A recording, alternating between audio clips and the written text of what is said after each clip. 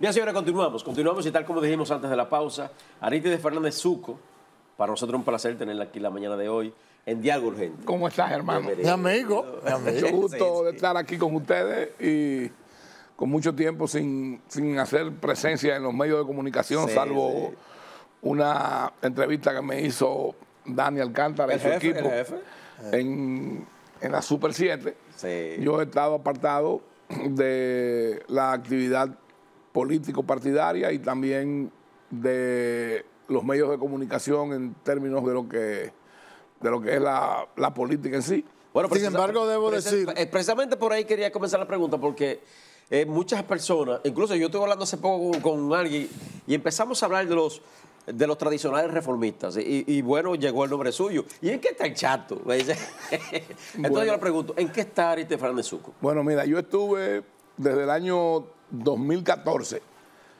Eh, hice una pequeña incursión en el 2016 para apoyar y respaldar al doctor Leonel Fernández Reina porque es mi amigo, mi vecino, porque le tengo lealtad y gratitud por el tratamiento que me ha dado en sus diferentes gobiernos, pero yo no pertenezco a la Fuerza del Pueblo, como tampoco pertenecía al PLD, yo solo he pertenecido al Partido Reformista Social Cristiano, y cuando fuimos expulsados junto con Carlos Morales Troncoso, Jacinto Peinado, don Donald Rick Cabral y otro grupo amplio de dirigentes, don Leo Mato Berrido, Virgilio Álvarez Bonilla, eh, Yuyo Alessandro. Eso fue para las elecciones del 2004. Cuando apoyamos a Leonel. Correcto, cuando volvió. Eh, y resulta que, para sorpresa mía, quienes nos expulsaron a las próximas elecciones para engancharse en el tren administrativo y buscar prebendas, apoyaron a Lionel. Y de ahí sale Quique para el BNB, eh, Genao con su proyecto de reelegirse como diputado y posteriormente como senador. Bueno, como buenos comerciantes que son de la política, son los sepultureros del Partido Reformista. ¿Y usted habla así de sus compatriotas, sus, ex compañeros así? No, yo, yo nunca he tenido compañeros, yo toda la vida lo que he tenido son compatriotas. Eh, Entonces yo no soy compatriota. Eh, no, no. Evidentemente que no. ¿A dónde están ubicados ahora mismo? Bueno, ahora están en el PRM. Bueno, ¿y dónde se ubican ellos cada cuatro años? ¿Dónde creen que el viento va a soplar? ¿Dónde está el poder? Esa es la verdad. No entonces, ¿detrás de qué es que andan? ¿De prebendas? ¿De beneficios espurios? ¿De que le den una parte del pastel, como dicen aquí en el país vulgarmente? Yo no estoy eh, en eso, mi accionar político es en base a principios y no estoy de acuerdo. Eh, te comentaba hace unos momentos que un grupo de amigos hemos estado pensando crear una organización que en principio va a ser un comité gestor para representar y buscar el espacio en el espectro político nacional del pensamiento conservador. ¿En qué consiste? Lo que representaba el presidente Balaguer en este país, valorar nuestros principios, nuestros ideales, nuestras costumbres y hacerlas valer. Hoy en día vemos como el Plan 2030, la agenda LGTB, la, eh, los zurdos, como le dicen ahora los izquierdistas, zurdos, eh, nos están estereotipando y queriéndonos incluso imponer la ideología de género, con lo cual nosotros no estamos de acuerdo, ni vamos a estar nunca. Si usted nació varón, pues se debe morir varón. Y si nació hembra, se debe morir hembra. ¿Y quiénes son los padres? Un hombre y una mujer. Y aquí está pasando eso también igual como está pasando claro. en América Latina. por lo menos lo quieren imponer. No, no, no, está pasando. Aquí se están casando parejas del mismo sexo. Algunos de ellos incluso lo Pero no aquí. Aquí en el país. Y algunos de ellos lo han publicitado que se han casado en España. Ah, bueno, pero se han casado en España. No, no, no, pero aquí también. Aquí ha habido bodas. No, aquí no ha habido bodas. Pero claro, lo, que, lo, que es. está prohibido. Lo que, bueno, lo que es soterrado, pero se casan. Lo hacen allá y lo celebran. No, no, no, y aquí también. Oye, Yo conozco casos de bodas que han hecho aquí por lo civil eh, entre personas del mismo sexo. Y yo. ¿Ese comité gestor se va a oponer a todo ese tipo de.? Claro, claro que sí.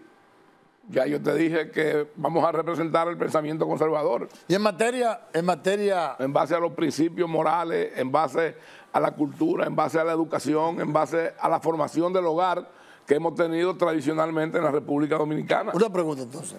¿Cómo usted Hágame valora, la que usted quiera. cómo usted valora los primeros cuatro años de gestión de Luis Abinader? Mire, yo no soy dado a criticar por criticar. Tampoco soy dado a hacer elogio para hacerme gracioso a nadie. Luis Abinader tiene su espacio, tiene su partido, en el cual yo no pertenezco, el cual no comulgo, pero yo creo que, salvo el que no hay grandes obras materiales infraestructura, el gobierno ha hecho una gestión aceptable. Decir lo contrario sería fanatizarte o no ser honesto.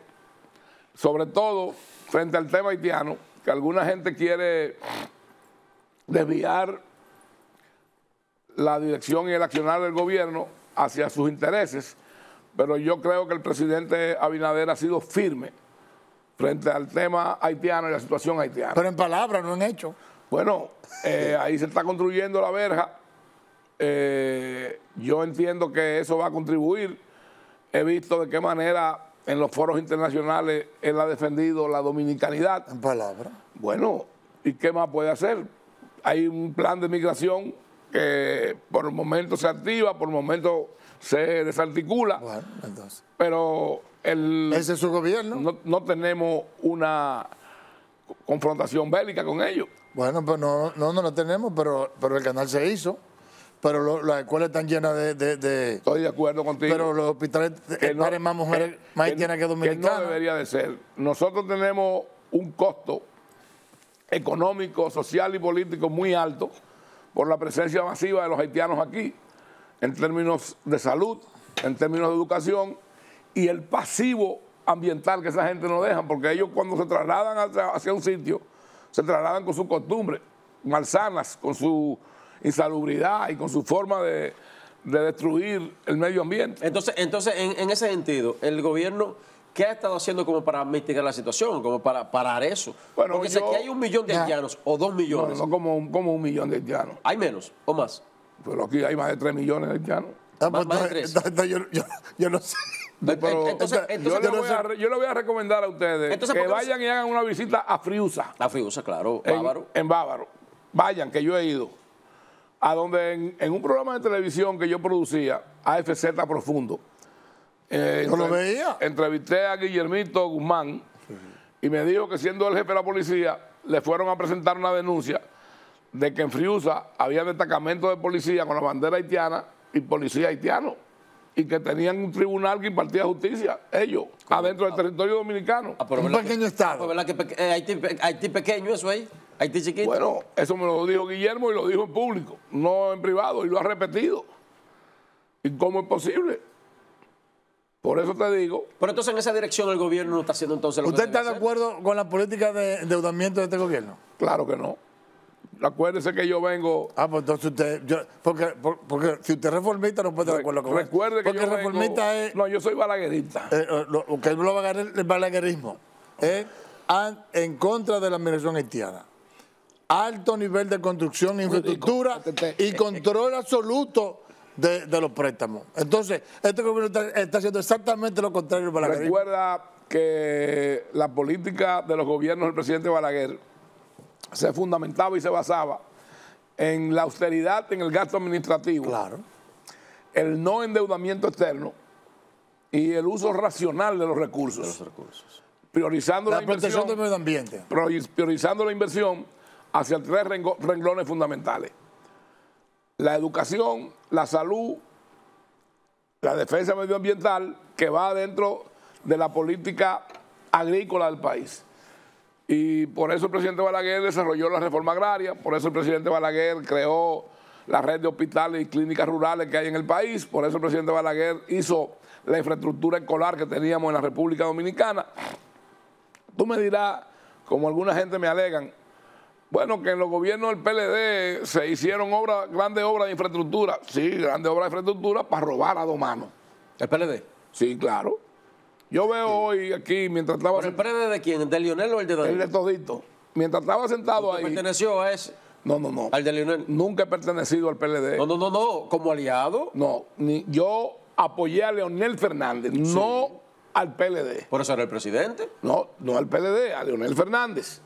Y creo que en los gobiernos del presidente Leonel Fernández eran diferentes a los de Danilo Medina. Y está- qué sentido? En todos los sentidos. Y está muy claramente eh, abierto eso a la vista de cualquiera. ¿Usted se refiere a la corrupción por los temas de, A todo. de los expedientes? A todo. ¿De qué manera gobernó Danilo Medina este país? Despóticamente, autoritariamente, al margen de los demás poderes públicos. Por eso está donde está hoy, en el zafacón de la historia. ¿Y qué puede decir Danilo que le aportó a este país? Explíquemelo, por favor, usted que está en su casa. O uno de ustedes dos. Pero eso tiene como uno de los mejores gobiernos, el de, el de Danilo. ¿Cuál es el mejor gobierno? No, no, se tiene como uno de los mejores ¿Cuál es, gobiernos. cuál es mejores gobiernos? Si aquí se llegó, como ahora, a generar deuda externa, a tomar prestado para, para pagar los intereses de la deuda ¿Que dejó Danilo? ¿no? que, que tiene el país. Porque todos los gobiernos dejaron deuda. Ahora, Balaguer gobernó este país por espacio de 22 22 años. Y en todo su gobierno no llegó a mil millones de dólares la deuda externa concertada. Este gobierno nada más, este, en los primeros cuatro años acumu- acumuló más de 35 mil millones de dólares en endeudamiento. Y Danilo más de 60 mil. Que incluso el, el nivel de la deuda y el ritmo del endeudamiento era superior en un momento dado a el Producto Interno Bruto del país. Al crecimiento del Producto Interno. Entonces, ¿de qué que estamos hablando? Ahora, si, si vamos a hablar de que yo venga aquí a hacerme gracioso y a querer eh, coquetear con el gobierno o, o con alguna fuerza política, bueno, ya eso es distinto, pero yo no me presto a eso. En el caso, en el caso de, la- de las obras que está en estos momentos en ejecución, por ejemplo, el metro de, de Santo Domingo ampliando la, la Importante línea. obra que la veo hace más de tres meses paralizada. ¿Cuál? El metro. Tres meses. Un año. No, yo, bueno. Te lo va a yo- ayudar, Bárbaro. Yo, yo voy todas las semanas a Jarabacoa. Paralizado. La verdad. la Yo verdad. voy todas las semanas a Jarabacoa a una construcción que tengo. Y ahí no hay ni un obrero trabajando. Por eso el de aquí, de, Sol- del- de los Alcarrizos. Sí, sí. Paralizado. No, no, yo pero lo- ya eso se inició porque yo- yo lo invito ahora a que mismo vaya. uno- ahora mismo unos tapones Pero- del pero carajo por eso. El domingo yo pasé por ahí. Porque- y yo vi incluso que hasta tienen, debajo de, de- de donde va el riel, tienen No, pero ya, luces. ya reiniciaron, ya Sí. reiniciaron. ¿Cuándo una lo luz reiniciaron? Si lo, bien- si lo reiniciaron la semana pasada. Bueno, ayer yo estaba en un tapón del carajo. y- Ah, no, pero tapones y me los- dijeron, tapones todos los sí, días no, y- pero- y no pero- es por eso. Sí, me Perdón, dijeron que no la por razón eso. es porque están construyendo. No, no, no, eso no es verdad. ¿Cómo va a ser, don No es verdad. Y la autopista Duarte, ¿cuánto tiempo tienen trabajando en ella? Ahí, ahí, ahí, ahí, ahí yo estoy de acuerdo, No, ahí yo estoy de acuerdo. Porque yo viajo mucho a San yo voy a, yo voy Jarabacoa, perdón, yo voy a Jarabacoa toda la semana y la, la carretera de Jarabacoa tiene cuatro años trabajando en ella. Yo creo que es una funda por semana. mi, mi, mi familia paterna es de San Francisco Macorís. Ah. Mi papá era el doctor Ramón Fernández Mena. Oh. Y- Ah, los menas son de Cenoví, de mi Sí, pueblo. sí, claro. Ahí nací yo. Y ahí, ahí vivía mi tío Chichi Mena. Eh, mi abuela era el Pidia Mena Pantaleón. Ay. Y- Con cuidado usted y yo venimos siendo familia. Prácticamente. Mi abuelo paterno era Pantaleón. Pues entonces somos familia obligados. Oh. Somos Galvez, Galvez Sánchez. Bueno. pero era Pantaleón él. Bueno, pues somos familia, olvídese, para mí es un honor. Oh, primo, qué Mire, bueno. y Mire, primo, oiga lo que le voy a decir. Día de pariente. Yo lo que no entiendo es cómo los reformistas, eh, porque no solamente usted, he escuchado también a otros reformistas oponerse a las obras que ha estado haciendo este gobierno cuando Joaquín Balaguer se caracterizó, los gobiernos del No, yo- Balaguer. yo se están oponiendo. obras. Yo quiero aclarar algo, yo no me opongo a las obras. Ok. Yo critico el que las obras se hagan a cuenta gota y que en muchos casos estén paralizadas. No hay una obra trascendente que este gobierno pueda exhibir. Dígame una, por favor. Hoy la Bueno. circunvalación de Asua. Bueno, el incremento. Oye, eso. Pero La eso, eso- lo dejó Danilo Lito casi. Bueno, pero continúa Bueno, el gobierno. Bueno, pero, pero no, pero si tú dices Eso que aplaude. si tú dices que la- en un 80% la hizo el gobierno anterior, tú no te la puedes atribuir a ti. Pero ese no es el punto. El punto es Bueno, el teleférico de los de, Alcarrizos. de qué manera usted prioriza la inversión pública. Hace unos años aquí se libró una lucha y se gestó una lucha para lograr el 4% del Producto Interno Bruto para la educación. Y todos los años ese presupuesto ni siquiera se agota. Es decir, que no hay una política definida para la inversión y el gasto público. No han construido una escuela en cuatro años. Bueno, yo vuelvo y te digo, no agotan el presupuesto. Pero eso porque- Con- y- pero, pero espérate, con el agravante de que aquí se denuncia permanentemente la falta de aulas, la cantidad de niños que se quedan sin eh, poder tener acceso a la educación. Y como agravante, tenemos que traer a colación el que a los niños dominicanos los desplazan los niños haitianos. Hoy, dijo la Junta Central Electoral, reiteró que los hijos de nacionales haitianos en situación de irregularidad nacidos en el país no son dominicanos.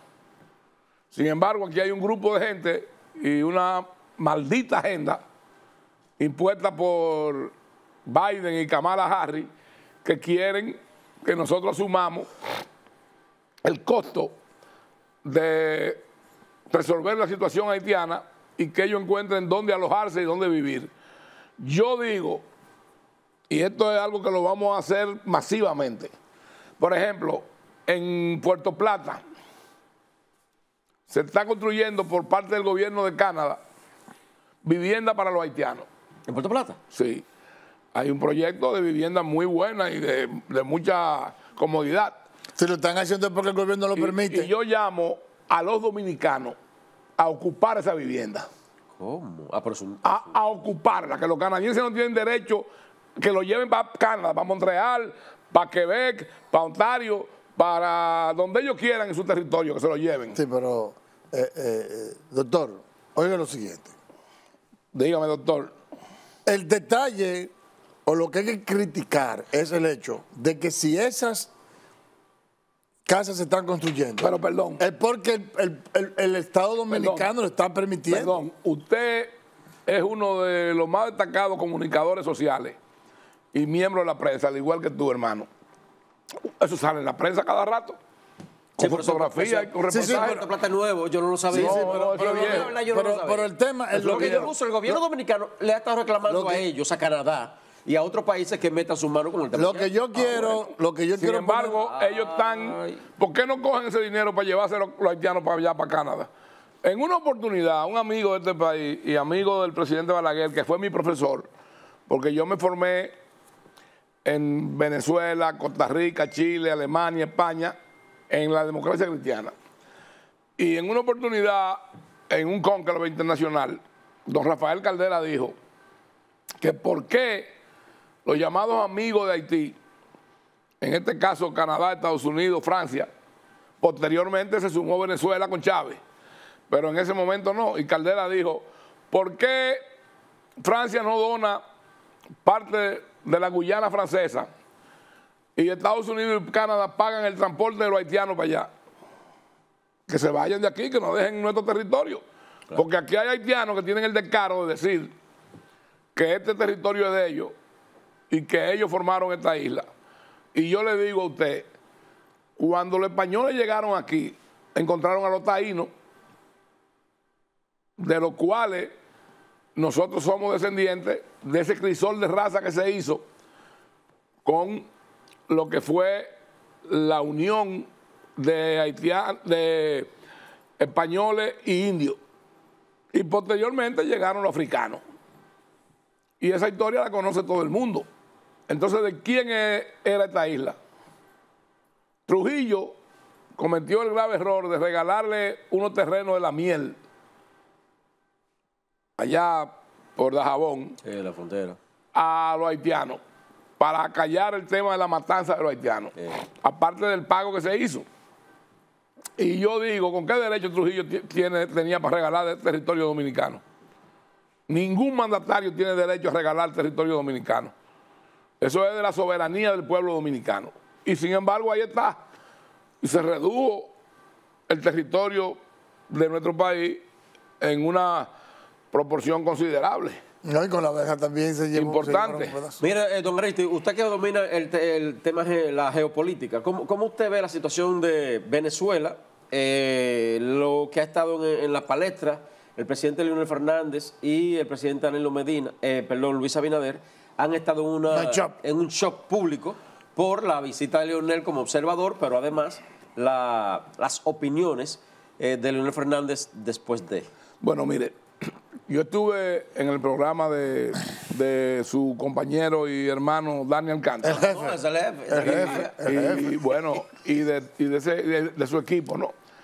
Y yo dije ahí, hace, todavía Leonel estaba en Venezuela, yo dije que yo no comprendía ni entendía qué buscaba el presidente Fernández en Venezuela. Y que de él, digamos que dar aquiescencia y respaldar lo que allí estaba pasando, bueno, él terminaría en el zafacón de la historia junto con Samper del caso 8000 en Colombia y el niño Zapatero, que es un testaferro intelectual de Maduro. Además de la prebenda que tiene, porque le han dado una concesión de una mina de oro. Rodríguez Zapatero, que fue presidente de. Sí, el llamado niño. Qué Nefasto personaje. Entonces, eh, yo dije que todo iba a depender de lo que el presidente Fernández dijera que él vio y vivió en Venezuela. Que si él se le ocurría apoyar y respaldar eso, bueno, se estaba acabando su propia tumba. Pero gracias a Dios él dijo aquí, cuando regresó, que él entendía que debían presentarse las actas no ha descalificado a Maduro, tampoco ha reconocido a Edmundo González, pero ha dicho lo que reclama todo el mundo, que presenten las actas, que son la evidencia. Maduro, que es un asno, ha querido situar la situación de Venezuela entre una disputa entre fascistas y comunistas confesos. Mas no es así. La realidad es que en Venezuela se está librando una lucha entre una tiranía, entre una dictadura y los derechos humanos y la libertad del pueblo venezolano. Maduro no tiene ni calidad moral ni mucho menos intelectual para presidir ni siquiera un, un consejo municipal. Y yo lo digo, y hay prueba y testimonio de eso, Ya va por tres periodos. de que yo me reuní con Chávez en persona en varias oportunidades, incluso una de ellas andaba Danilo Medina, andaba Francisco Javier, estaba Carlito Pared, que pueden dar testimonio de eso, en el Palacio de Miraflores. Y bueno, ahí tuvimos encontronazo porque él estaba respaldando a un aliado de él de aquí. Y ¿Quién, yo, eh, no, Chávez. Chávez, Chávez. Y yo le dije, ¿Su aliado era Lionel? no, otro personaje. ¿Cómo? Y yo le dije, mire, eh, presidente Chávez, ese amigo suyo eh, tiene un partido que la asamblea de su partido la hacen en una cabina de teléfono y sobre espacio. y se molestó y se paró y se fue y nos dejó ahí. ¿Usted se refiere a Don Miguel? Nos dejó con, con José Vicente Rangel. Y andaba un amigo mío que era en el avión de él que habíamos ido, que es Víctor Vargas Irauquín. Entonces, entre Rangel y Víctor hicieron gestiones para que él volviera. Danilo, Francisco Javier, eh, Víctor Díaz Rúa que andaba. Me cayeron arriba a mí. Y yo le dije, bueno, pero ustedes tienen su criterio, yo tengo el mío. Claro, claro. Gracias, don Aristide. Gracias a ustedes. Tremenda esta entrevista, usted tiene que volver. Gracias, gracias, gracias a ustedes. Recuerden que yo, hasta que no hagamos el anuncio ese que le dije, Sí, el comité gestor. sí. Sí, sí. Eh, ¿Quiénes lo van a componer aparte de usted? Bueno, yo puedo decir ahora, Rapidito, que lo están ahí. yo puedo decir ahora que esto está en ciernes y que estamos Juan Miguel Castillo Pantaleón y yo. Ah, pero espérate. Esto, eso es grande liga. No, no, yo, Grande yo voy a ser miembro de de- Bien, bien. bueno, Bien. usted, usted bien recibido. Aristide Fernández Zuco estuvo con la mañana de hoy con nosotros. Para nosotros es un placer. Eh, ex dirigente reformista balaguerista, ¿no? Sí. Y bueno, eh, O es lo conocen. Es balaguerita. Ustedes y nosotros nos vemos mañana a partir de las 6 de la madrugada. Bye bye. Muchas gracias.